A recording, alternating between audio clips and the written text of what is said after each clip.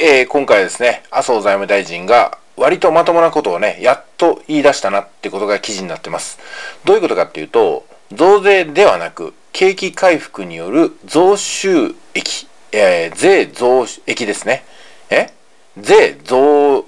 税収増ですね。失礼しました。まあ、どういうことかっていうとですね、あの、税金のパーセンテージを上げると支払うのが苦しくなったり、消費税の値段がね、やっぱ10%とかになると消費をしなくなるんですよ。消費のブレーキがかかっちゃうんですよ。まあ、これではまずいなということなんで、まあ、いろんな税金をね、減額することによって、まあ、いわゆる売上ですとか、全体的な GDP を増やしていって、薄く広く取っていこうという形ですよね。これがまあ、正解といえば正解ですよね。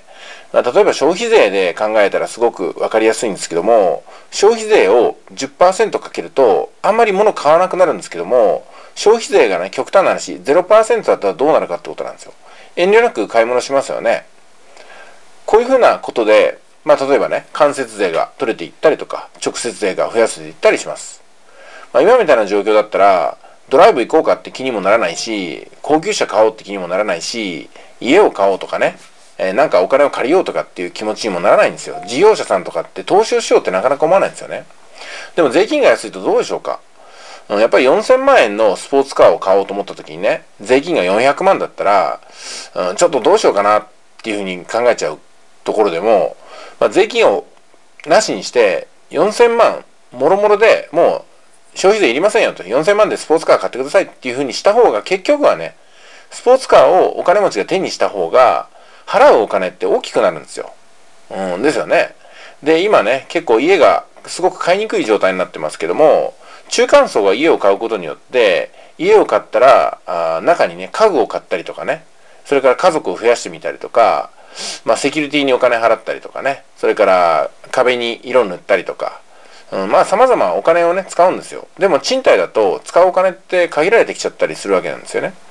そういったことを言われてるんだと思います。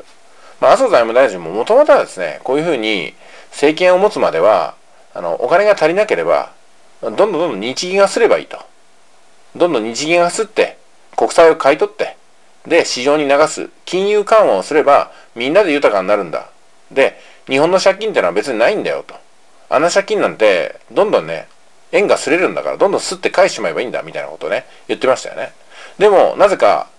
今の立場になると、税金をね、ずっとかけてかけて、で、プライムバランスの黒字化とか言ってからね、要するに税収の中で全部やっていこうみたいな、そんな発想になっちゃったんですよ。で、麻生財務大臣もよく分かってると思いますけども、あの、国家の運営って税金でなされてるわけじゃないんですよね。大半が国債でなされてるわけですよ。で、国債の償還期限が来たら、さらに次の国債を吸って、借り換えをしてるだけなんですよ。要するに、国債っていうのは別に減らす必要はないと。国債はどんどんどんどん増えていって、うん、そのまんま地球滅亡の日まで、ね、これ三橋さんの言われる言葉ですけども、地球滅亡の日まで国債なんてのはね、日本国債なんてほっとけばいいわけですよ。うん、で、今日本国債ってどんどんどんどん1000兆円を超えてまだ増えてますよね。増え続けると何が起こるかっていうことなんですけども、特に何も起きません。通貨の信任が得られないって言い方もありますけども、だって結局は日本の金利ってほぼ0%なのに、マイナス金利とか言ってるのにね、もう何か金融危機が起きたら日本円とかドルって買われちゃうんですよね。だって日本円買っても儲かんないわけですよ。損しちゃうんですよ。なのに買われるんですよ。そのぐらい日本の円っていうのは信任が得られて得られてるわけですよ。この上ですね、自国通貨建ての国債をいくら吸ったところで、世界の金融市場から日本円が見捨てられることはないでしょうね。まあそういったことをこの記事の中で言われてるんだと思います。まあ、下の方をぐーっと読んでいただければわかるんでね、短い記事ですから読んでいただければと思います。全く心配ないです。えー、今年の国債の新規発行額は90兆円に上り、えー、今年度の予算全体では歳入の56.3%国債に頼る過去最悪の状況となりますと。最悪ではないんですよ。あの、国家の運営なんてね、極端な話、税金を全く取らずに国債で賄うことでもできるんですよ。ただやっぱりね、そうは言っても、うーんまあ、税金がね、ゼロではいけないんですよ。税金ってのは要するにインフレに対してブレーキをかける役割がありますんで、キャップ調整をしてくれるんですよね。